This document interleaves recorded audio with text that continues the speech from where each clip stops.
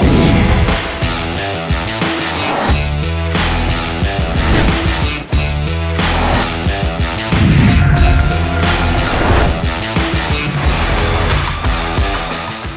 Greetings and welcome. This is Rajiv Makhni. You know the show. पता है आपको. You know it, right? The Cell Guru Show. आज बहुत interesting stories हैं. I have a big review. The Redmi Note 12 Pro Plus. New launch from Xiaomi. 200 megapixel primary camera. Good images from the primary camera. So you say 200 megapixel and the images are. no, this is good. Great design language, but quite similar to the Note 11 Pro Plus. Lot of good stuff, but we'll tell you whether it's as good as we're thinking it is because it's slightly more expensive for a Redmi phone. Then we'll compare it. The Redmi Note 12 Pro Plus versus the Big Daddy, the Moto Edge 30 Ultra. Both have a 200 megapixel camera, but which one turns out to be better. Lots of interesting things, a lot of different things in both. We'll find out if there is a true clear winner. Then we move on to the Samsung A14 5G, a budget phone from Samsung. 5G connectivity, RAM plus feature, which allows you to build virtual RAM, which of course is not my favorite feature. Four years of security updates and two operating system updates, which of course Samsung is famous for. But the story I'm most excited about is the future, and the future happening right now. This is our top story. The MediaTek's new chipset are in. Now, MediaTek has always been the go-to choice for budget and mid-range phones, but now they're changing the entire game. Their foray into higher-end smartphones with the Dimensity 8200 and 9200 chipsets is a complete game changer, cutting-edge performance, and yet the price point will be much lower. So this is where the big change comes in. Now, can you get a top of the line, absolutely no compromise flagship phone at a much lower price? Phones like the iQOO Neo 7 SE and the Vivo X90 are going to be using these new Dimensity chipsets. So, big game changer. And then, of course, a game review today, the TMNT. This is, of course, the Teenage Mutant Ninja Turtles. So, Shredder's Revenge review is what we're going to show you. Arcade style game, but does it translate to fun on your phone? Let's start with today's Cell Guru show. Our top review today is the Redmi Note 12 Pro Plus. So first of all, I have to say it's a good looking phone. Then the 200 megapixel camera with of course the 8 megapixel and the 2 megapixel. Primary camera turned out to be great, really, really good. 200 megapixel usually sometimes you say compromises on other features. This one does not. So 120 hertz adaptive refresh rate weighs about 208 grams, IP53 rating. 6.67 inch AMOLED display, which again is a great display, really, really good one. Uh, really saves you a lot of battery life with the kind of technology they've brought in. The MediaTek Dimensity 1080 processor, 4980 mAh battery, and the prices start off at 29999 Now, you'll say for a Redmi Note, pretty expensive, but you can get it at a much cheaper price.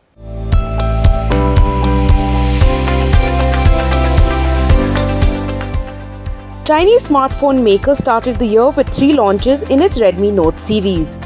The Redmi Note 12 Pro Plus 5G is leading the pack. This is a mid-range smartphone that comes as a successor to the Redmi Note 11 Pro Plus 5G. It comes with a massive 200MP primary camera which now seems to be the trend with smartphone companies. The Note 12 Pro Plus has ticked all the right boxes with its specification. In our review, we find out if the Note 12 Pro Plus is truly a flagship killer. Companies are going all out when it comes to the camera prowess of the phone. The camera capabilities of the phone is usually the deciding factor for most people. The Redmi Note 12 Pro Plus comes with a 200MP triple camera setup with optical image stabilization. It has an 8MP ultra-wide camera and a 2MP macro sensor. Let's start with the primary camera. It captures some detailed images with a good dynamic range and true to life colors. The night shots and the low light capabilities of the primary camera were quite impressive with enough details. It managed to highlight the shadows without too much noise in the photos. Coming to the ultra wide camera, the photos were good but nothing to write home about. It captured detailed images but with soft and distorted edges due to the 120 degree field of view.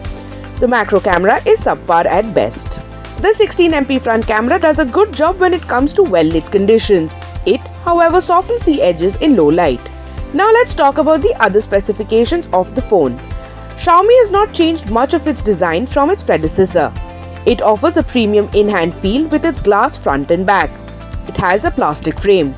Even though the phone weighs around 208 grams, it does not feel too heavy to hold in use. The phone comes with an IP53 rating for basic protection against water splashes. The Redmi Note 12 Pro Plus comes with a 3.5mm audio jack. It also features a dual speaker setup. We used the speaker at about 65% and were happy with the output. The Redmi Note 12 Pro Plus has a 6.67 inch AMOLED display the screen offers a full HD plus resolution and has support for displaying over a billion colors.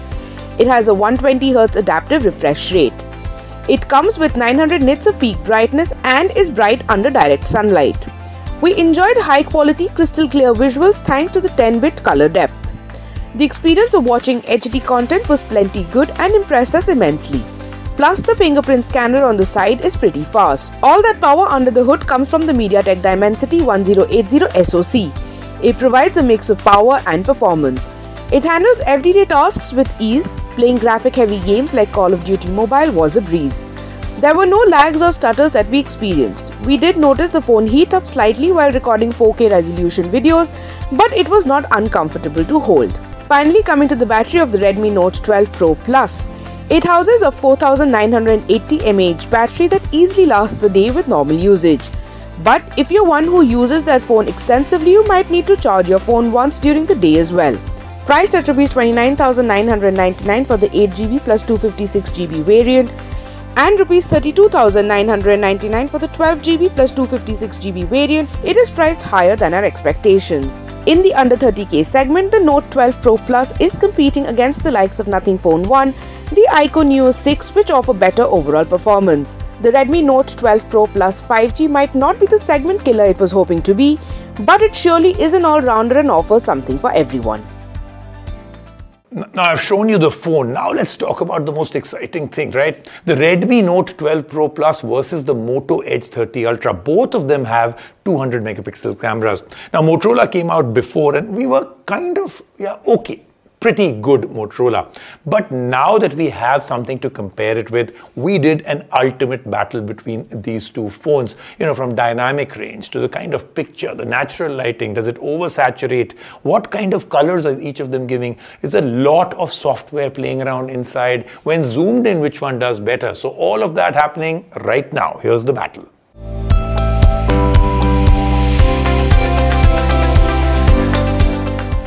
The rise of the 200 megapixel primary sensor has seen several brands boost their camera capabilities. And today, in the battle of the 200 MP smartphones, we will be comparing the Redmi Note 12 Pro Plus and the Moto Edge 30 Ultra. Both phones come with a 200 MP triple camera setup with the Redmi Note 12 Pro Plus having an 8 MP ultra wide camera and a 2 MP macro sensor while the Moto Edge 30 Ultra comes with a 12MP telephoto lens and a 50MP ultra-wide sensor. Let's start with the primary camera. For the Redmi Note 12 Pro Plus, the images captured have an authentic color with very little distortion due to its dynamic range. Where the Note 12 Pro Plus truly shines though are its low light capabilities. The camera manages to highlight differences in light and shadow without adding too much noise to the photos. Images clicked in low light have incredible detail with the colors popping while also remaining sharp.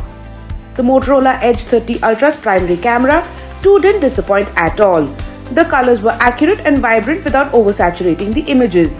Just like the Redmi Note 12 Pro Plus, the dynamic range is spot on and Motorola's color science is extremely accurate. For the primary camera, the competition is quite close, but we over here give the slight edge to the Motorola Edge 30 Ultra as the colors seem to have a more natural tone while the Redmi Note 12 Pro Plus gives it a warmer tint. While both phones' primary cameras were comparable, the ultra-wide camera is handily better on the Motorola Edge 30 Ultra. Using the Samsung JN1 sensor, the camera uses autofocus and the images captured were incredibly dynamic with no details being lost and the color reproduction was beautiful. The Redmi Note 12 Pro Plus's ultra-wide photos were quite average. This is due to it softening some details in images due to the 120 degree field of view. As stated earlier in our review, this is a bit of a disappointment from the phone as the images clicked are average at best. As for the telephoto and macro lens, this once again goes handily to the Motorola Edge 30 Ultra. The 12MP camera has a 2x optical zoom. The shots taken from this camera were quite good even though there was some face smoothing overall the quality of the images and color tones was spectacular. The Redmi Note 12 Pro Plus's macro leaves a lot to be desired. The photos lack sharpness and don't capture the colors and tone you're trying to photograph. The images from the ultra-wide lens are often dull and just cannot compete with the shots captured by the Edge 30 Ultra.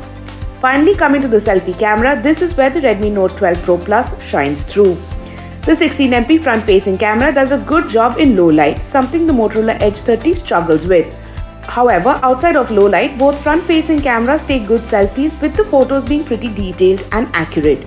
We notice the Redmi Note 12 Pro Plus sometimes softens the images in low light, which isn't too big a deal, but for those of you who are sticklers for sharp quality images, this might be an issue.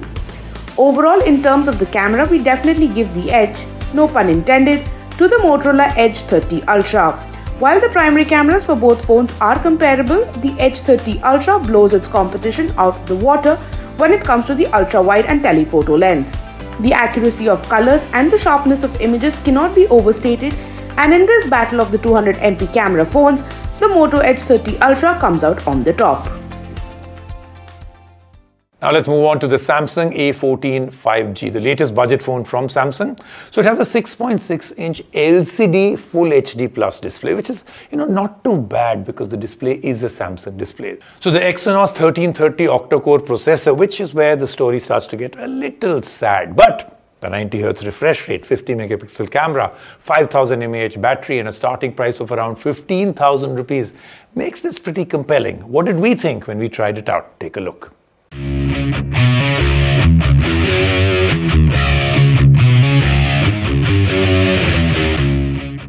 Looking for a smartphone that doesn't put a dent in your pocket but still gives you the feel of a premium cellular device? The Samsung Galaxy A14 attempts to do precisely this with its large screen, triple camera setup, and fast processor. But does it deliver? Well, we are here to break it down for you. The A14 is the newest addition to the Galaxy A series, which attempts to provide the latest technological innovations of the flagship Galaxy series at an affordable price. It is made of plastic but does give a premium look and feel. The phone is a treat to look at with an eye catching design due to the laser edge pattern back cover. Thanks to the textured back, the phone does not attract fingerprint smudges. The phone weighs around 200 grams Holding the phone with one hand might get slightly uncomfortable. The power button on the side doubles up as the fingerprint scanner, which works pretty well. The Galaxy A14 5G has thin bezels on the top and the sides and a slightly thicker chin. There is a water drop notch camera at the top. The phone also comes with a 3.5 mm jack on the bottom. Coming to the display of the Samsung Galaxy A14 5G, it sports a 6.6 inch PLS LCD Full HD Plus display. It comes with a 90Hz refresh rate, which was plenty good. We did not face any lags or stutters while browsing social media and the internet. We did miss the vibrancy and color reproduction that comes with an AMOLED display. The viewing angles were decent. But if you're someone who doesn't care about cosmetics and just wants to know if the A14 will let you play your favorite games, you might be a bit disappointed. Powered by the Exynos 1330 octa-core processor, the phone promises smooth performance and enhanced multitasking. In our testing, we were able to play games like Call of Duty and Teenage Mutant Ninja Turtles Shredder's Revenge with a few stutters and frame drops, but the main issue came from the device overheating. We found that after about an hour of playing, the device heated up quite a bit. So, if you're someone who games a lot on their phone, this might be an issue. The phone provides plenty of power for everyday use and light gaming. The phone ships with Android 13. Samsung has promised 2 years of OS updates and 4 years of security updates. The Samsung Galaxy A14 5G comes with a triple camera setup. It has a 50 megapixel main sensor, a 2 megapixel macro sensor, and a 2 megapixel depth sensor. The 50 megapixel main camera clicks some beautiful shots with great details and a good dynamic range. Samsung could have given an ultra wide sensor instead of the macro sensor though. The images taken from the macro camera are not noteworthy, and we would suggest sticking to the main camera. The 13 megapixel front camera clicks some good selfies. Finally, coming to the battery. The A14 5G comes with 5000 mAh battery as is the norm these days. With normal usage, the phone lasted us a day. Price at rupees 16,499 for the base variant, one knows that Samsung has made some compromises, albeit small ones. A great design, a good primary camera, and a power efficient processor, the Samsung A14 5G is a good budget phone to earn two thumbs up from us.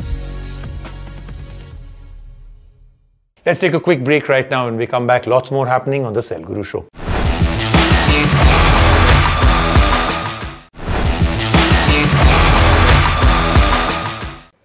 And now, what I'm calling our top story, because this is a story about the future, our immediate future, MediaTek's new chipsets.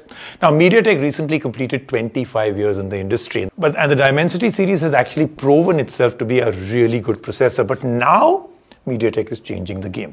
The Dimensity 8200 promises supreme performance, incomparable power efficiency, and the 9200 chipset is like an absolutely insane performer with an efficient cooling system built in. The new phones that are coming up with these will be with us very soon. Let's take a look at what these two chipsets can do.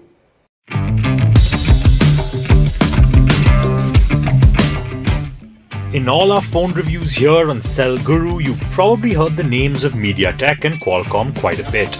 But if you're someone who doesn't know much about phone processors and always thought it sounded like gibberish to you, we're here to make your life easier. Today, let's tell you all about MediaTek, a brand that is now starting to give its competitor Qualcomm a run for its money. MediaTek recently completed 25 years in the industry and rose to prominence in the early 2010s. Since then, they have usually been the go-to choice for budget and mid-range phones as a processor. While usually the flagship arena has been dominated by Qualcomm Snapdragon processors, with the launch of the Dimensity 9200 and 8200, the Taiwanese company is putting up a good fight and has shown they are here to stay. MediaTek has often been able to provide cutting edge performances on a budget, which is what sets them apart. The Dimensity series has been powering several higher end smartphones across multiple brands. The series is quite popular among smartphone manufacturers, mainly for gaming, imaging power, efficiency, and now 5G connectivity. The Dimensity 8200 promises supreme performance and incomparable power efficiency. With a powerful graphics engine, the chip provides fast frame rates for gamers as well as improved performance in everyday apps. The chip also allows phone manufacturers to use the MediaTek Intelligent Display Sync 2.0, which creates razor sharp displays. The upcoming iQOO Neo 7 SE will be using this processor. The Dimensity 9200, on the other hand, contains around 17 billion transistors with an expertly built 4 nanometer class chip, which is encased in a thermally optimized package. Basically, this means that your device will stay cooler for longer, even with heavy use. For flagship phones, this is a must, as the focus on performance needs to be balanced out with an efficient cooling system. The Vivo X90, which has already been launched in China, will have the powerhouse that is the Dimensity 9200, and we can't wait to get our hands on it here in India. So, this is exactly how MediaTek is pushing the industry forward and attempting to make a splash in the high end phone and flagship market. Therefore, the next time someone is buying a phone with a MediaTek processor and they don't know what that entails, we hope this explanation helps you in aiding them. Let's move on now to a gaming review. The Ninja Turtles are back. Arcade game, but does it translate well on our phones?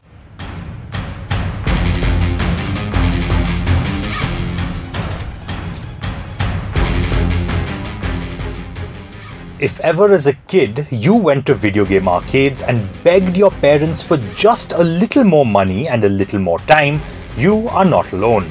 Most of us who visited these arcades had one unifying factor the fact that the games were incredibly hard and were just designed to take as many coins from us as possible. Teenage Mutant Ninja Turtles Shredder's Revenge will transport you back in time and make you feel like you're right back in the arcade, except without the feeling of going broke while playing. Released on iOS and Android on the 10th of January, the game is an absolute blast to play.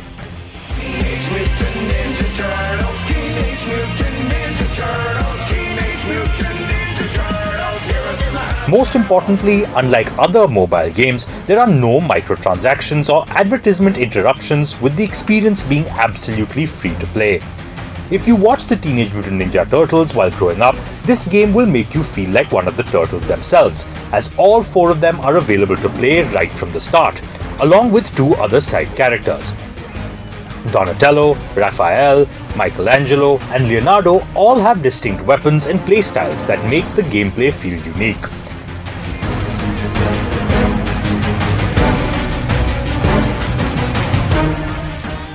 The controls are easy to learn, with just a single attack button.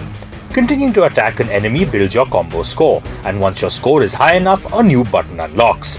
This button is a unique special attack that does a lot more damage and changes depending on the character you've chosen.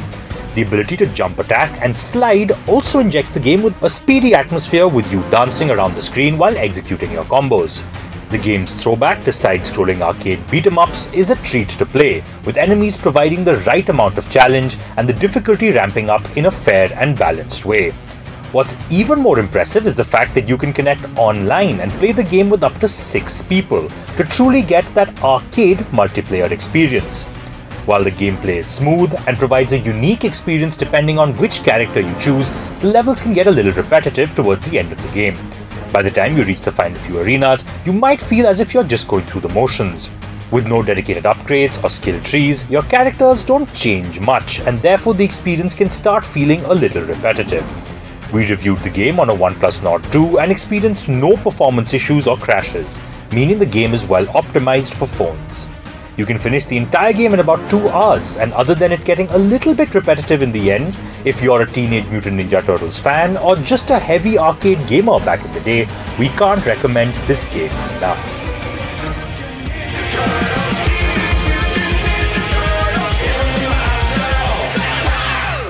That then was the Cell Guru show for this week. Do join me next week. I've got such an incredible array of stuff to show you.